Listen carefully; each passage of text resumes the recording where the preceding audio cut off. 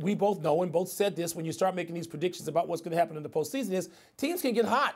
Teams Yeah. can get hot or teams can cool off. Cleveland Indians, not so hot right now. Doesn't matter that they won 22 or 24 or whatever it was. Right now they're locked in the battle with the Yankees, which we're going to get to. But I think the Dodgers are close to that.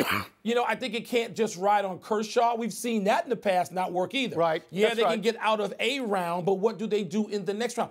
The Dodgers' test is not to get out of the first round.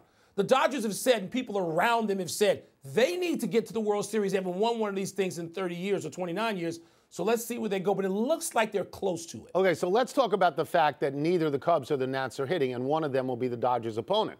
But the Dodgers, three, four, five, which is Turner and Bell- Bellinger and, and Puig, they're batting 368 in this series. They drove Against in 11 pitching? runs. Against They- what pitching? the- well, Against Arizona's pitching, okay, they drove, which won't be who around you in the next to win the series. Now, the, the people in the East Coast haven't seen this series at all. It's a rumor to them because every game has been late. I'm going to say what I said to you last week that the Dodgers, to me, are Aaron Judge.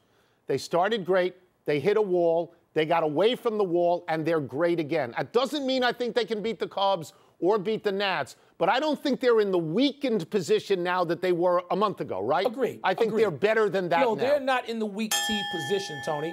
But the Arizona pitching, and I was dead wrong. It ain't the Nats pitching, No, starting not. pitching, and No, it ain't not. the Cubs No, starting not. pitching. So I don't care what their three, four, fives are doing against Arizona. Let's see what their three, four, fives do pick. in the next series. Okay.